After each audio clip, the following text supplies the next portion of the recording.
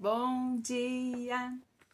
Estamos de volta com o nosso devocional Florescer. Hoje, número 102, estamos meditando a respeito do Salmo 23. Então, nós temos como tema Florescendo sobre os cuidados do Divino Pastor. Nosso dia hoje ele está ainda, né, está frio. Nós temos uma neblina lá fora Pode ser que ela indique que nós teremos um dia de sol. Sol ainda não apareceu, mas ou é frio ou nós vamos ter um dia de sol. E nós vamos então continuar meditando na palavra de Deus. Nós estamos no versículo número 2, né? Salmos 23. Deitar-me faz em verdes passos. É tão rico essa meditação que não, não, a gente não consegue fazer um versículo, né? É por dia. Deitar-me, deitar-me faz em verdes pastos. Para as ovelhas, como nós aprendemos ontem, o verdadeiro descanso é deitar em verdes pastos. Falamos quatro coisas que as ovelhas precisam, ah, que precisam ser afastadas pelo pastor é, das ovelhas para que elas realmente possam descansar. Ontem nós falamos da fome, né? Uma ovelha com fome não consegue descansar e nem deitar. E aqui, no nosso caso, como ovelhas do divino pastor, seria a fome espiritual, né? Aquele vazio que não deixa a gente descansar em Deus. Então, a segunda coisa que nós falamos, que nós precisamos afastar, que precisa ser afastado delas, para que elas possam se deitar então em meio às pastagens verdes é o medo. Então nós vamos ver como o divino pastor é, livra as suas ovelhas do medo. As ovelhas, elas, quando elas estão com medo, elas tendem a correr assustadas. Qualquer ruído ou perturbação súbita pode provocar um grande pânico no aprisco. Conhece a história é, Maria vai com as outras, tem a ver com a história das ovelhas. O que uma fizer, todas farão. Se uma se jogar no abismo, todas se jogarão. Né? Então, é, qualquer é, ruído, perturbação provoca um pânico, não só não apenas uma ovelha, mas em todas as ovelhas do aprisco. Quando elas estão amedrontadas, elas correm freneticamente em todas as direções e muitas vezes elas correm para o perigo, em direção ao perigo. Só há uma cura para o medo das ovelhas. O pastor, quando ele percebe as ovelhas sendo atacadas pelo medo, ele move-se silenciosamente entre elas dando-lhes a segurança da sua presença. Ao perceber o pastor, então aquele desejo que elas têm de correr é substituído pela confiança. A presença do pastor entre elas lhes traz rapidamente, então, a confiança. O Senhor é o meu pastor e ele me faz deitar em verdes pastos para descansar e não para temer. Davi, que foi um pastor de ovelhas, e agora ele era a própria ovelha sobre os cuidados do seu pastor.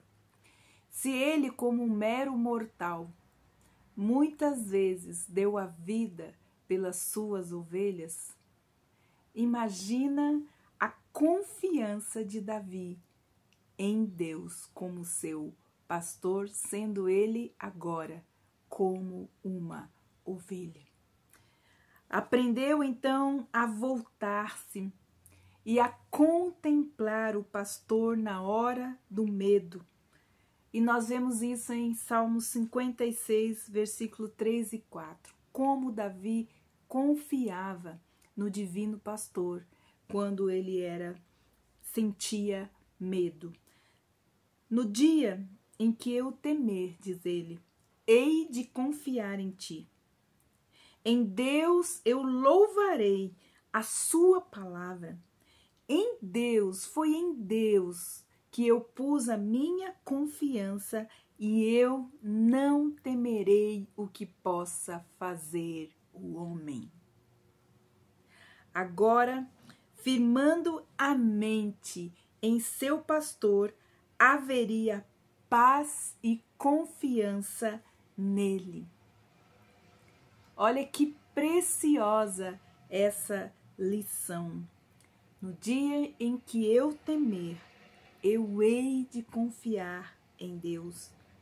Porei a minha confiança nele e não temerei o que possa me fazer o homem. O Senhor também nos diz é, em Isaías capítulo 46, 8 a 11.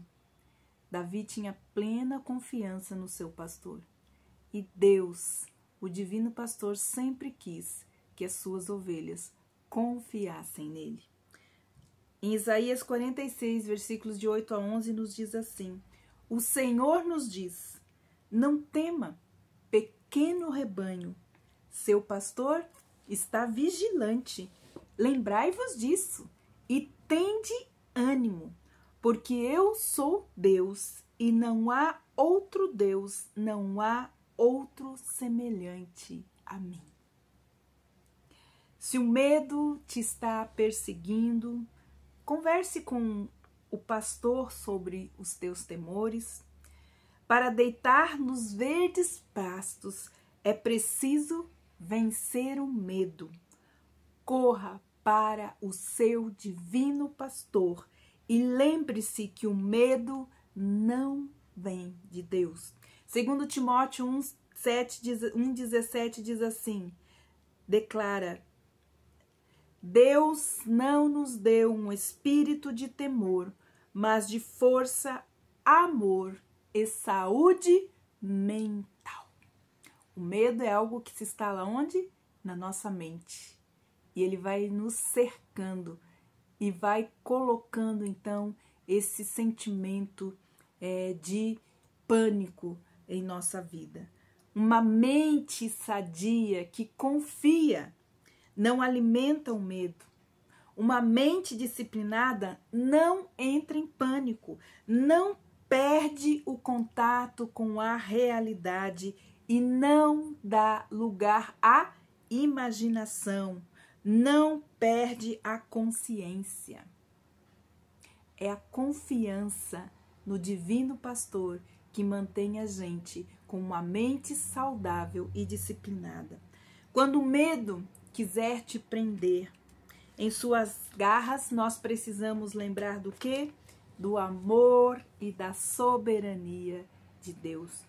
Nunca esqueça que tudo mas que tudo mesmo é filtrado através dos dedos do amor de Deus.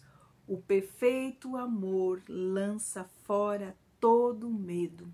E a palavra de Deus diz que quando nós sentimos medo, é porque nós não estamos aperfeiçoados no amor. Mas que amor?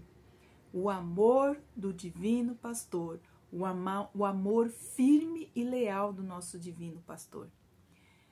A palavra de Deus diz assim: se você está sentindo medo, é porque você precisa estar com a sua mente e seu coração aperfeiçoado, crendo no amor de Deus por você. Se isso está acontecendo com você, se o medo está tentando silenciar a sua alma, preste bem atenção. Em Romanos capítulo 5, versículo 8 diz assim: a esperança não desaponta, porquanto o amor de Deus está, está derramado em meu coração pelo Espírito Santo de Deus. Se o medo está entrando, você precisa orar e pedir ao Espírito Santo de Deus que derrame do amor de Deus no seu coração. Precisamos estar consciente de que o medo procede do pai da mentira Este é ladrão, quer roubar, quer matar, quer destruir a sua alegria, a sua esperança, a sua confiança em Deus. Apropie-se do poder que é dado por Deus no nome poderoso de Jesus e o amor de, de Deus revelado em Cristo Jesus na cruz por nós. Ele me ama e ele te ama. Em seu amor, seu amor é derramado em nossos corações pelo seu Espírito. É assim que nós enfrentamos o medo. Como? Olhando nos olhos do nosso divino pastor. O amor se vê em seus olhos por nós. Mas não esqueça, ouça as suas palavras falando: Não temas pois eu estarei contigo até o fim. E nós temos o Salmo 42, que nos diz assim: Clamo angustiado quando me lembro dessas coisas, como eu ia com a multidão à casa de Deus, com sons de alegria e adoração na passagem das festas. A minha alma, por que você está batida? Por que você se contorce dentro de mim? espera em Deus e adorarei a Ele novamente, pois a salvação vem da Sua presença e a Sua presença em nós. E a Sua presença em nosso meio nos faz deitar e descansar nos verdes pastos. Que Deus abençoe você e até amanhã com o nosso devocional Florescer.